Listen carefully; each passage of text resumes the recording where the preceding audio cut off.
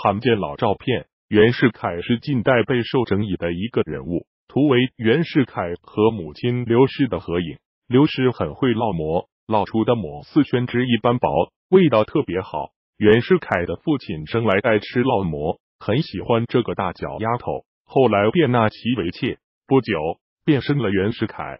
罕见老照片，图为革命先驱孙中山的母亲杨可卿。杨可卿在十八岁的时候嫁给孙中山的父亲。幺八六六，杨可卿生下孙中山。那一年是清朝同治五年，距离清朝灭亡只剩下四十五年的时间。罕见老照片，图为年轻时期的蒋介石和母亲王彩玉，发妻毛福梅，还有儿子蒋经国的合影。蒋介石的母亲王彩玉坐在中间，手捧蒋经国，看上去很端庄。罕见老照片。图为袁世凯一家人的合影，妻妾成群，儿女成堆。